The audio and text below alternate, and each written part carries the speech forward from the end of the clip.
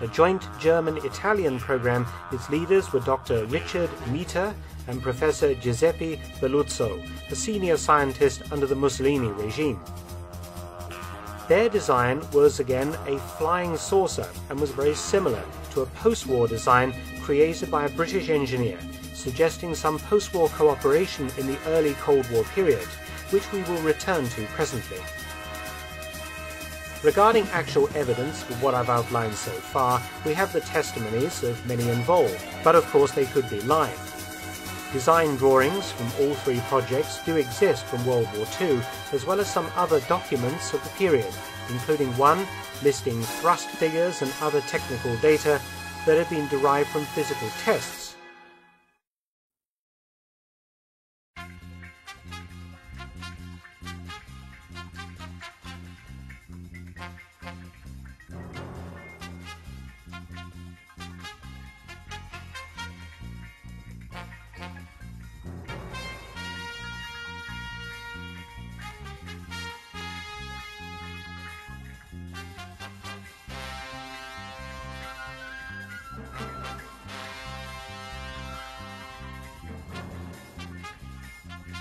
We leave you tonight with a new search for answers to that age old question Is anyone out there?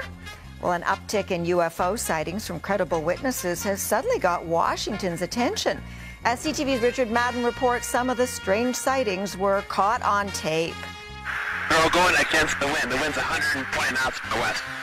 Look at that thing, dude. A close encounter spotted by a U.S. Air Force pilot off the coast of Jacksonville, Florida. Oh, Oh my gosh, dude.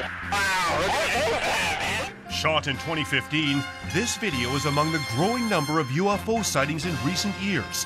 So much, the U.S. military gave a classified briefing on Capitol Hill last week titled Threats to the Safety and Security of Our Aviators. One of the key takeaways I'd have is that the, um, uh, the military and others are taking this issue seriously, which I think in previous generations may not have been the case. Even U.S. President Donald Trump weighed in. I did have one very brief meeting on it, but people are saying they're seeing UFOs. Do I believe it?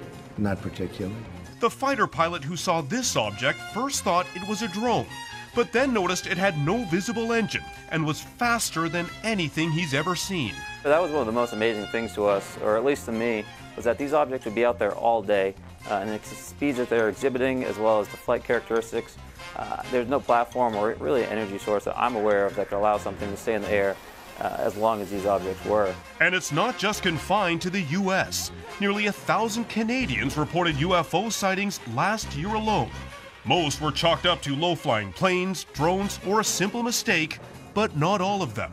Out of the thousand or so sightings a year, about 5% remain unexplained. Yes, and that 5% doesn't automatically mean spaceships. It simply means these are cases that are a little more puzzling than usual and they need a little more investigation, and some of them just never do get explained. The unexplained, skeptics believe, could all be secret military testing on classified missions. It's probably one part of the military not telling the other part, other part of the military what they're up to for a good reason.